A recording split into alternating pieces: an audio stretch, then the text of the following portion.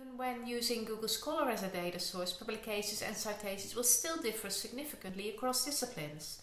And thus the H-index, which is a, a combination of the number of papers and citations, will also differ significantly across disciplines.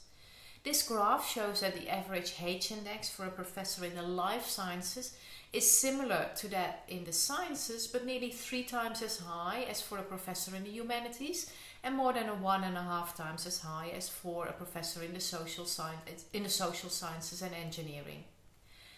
However, if we use an individualized and annualized H-index instead, one that, as I explained earlier, corrects for differences in the number of co-authors and different career lengths, these differences are much smaller. In fact, four of the five disciplines show very similar indices, with the social sciences now equaling the life sciences. Only the humanities is still showing lower metrics. However, rather than being a third of the life sciences as for the, the H index, it's now more than half of the life sciences.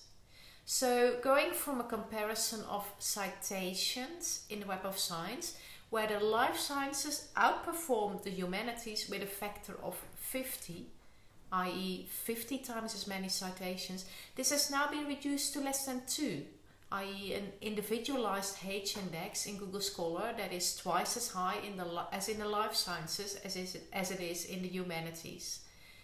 For the social sciences, the change was even more dramatic, going from a factor of 5, that means citations in the life sciences being 5 times as high as in the social sciences, to being equal to the life sciences and higher than engineering and the sciences.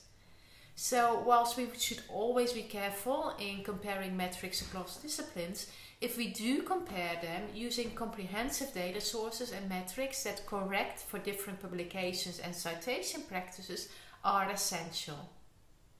If you want to read about this in more detail, just follow the link on this slide.